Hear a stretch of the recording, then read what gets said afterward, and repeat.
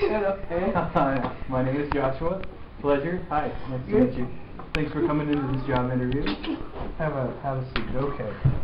All right. Yeah, thank you. Thank you. How to see? Oh, oh, just careful there. Uh oh. There we go. man. There we go. Yeah, just have a have a seat there. I'm a fifty cheers. All right. On a coat. Okay, that's nice. That's Like, you know. certainly very colorful. Yeah. Yeah. Got some hundred bucks. Wow. Birthday. Okay. They got my shoes. Those are those are nice. Okay. Right on the desk there. Okay. All right. How about that, my back? Your shoes.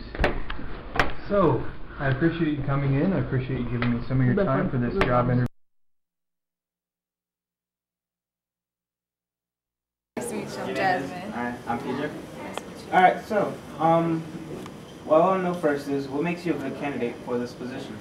Well, I would say what makes me a good candidate is that I'm very hardworking. I'm loyal to any job that I have. Um, I put my best foot forward and I work to my best ability.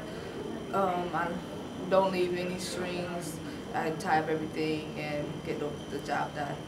Okay. Seeing how this is a sports uh, job, um, what are some of your strengths? I would say some of my strengths is that I'm good with sports. I like basketball. Did you feel that you uh, came prepared for your interview? Yeah, yeah. Yeah, yeah, I did that. I did that. Okay. And um, Miss Jasmine, Yes. do you feel like you prepared yourself, got yourself ready to come to the interview?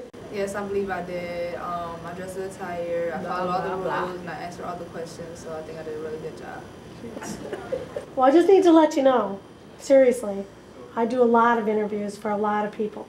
And after, you know, spending a little time with both of you, and you have to understand in the first almost three seconds of an interview, mm-hmm. people have made up their mind.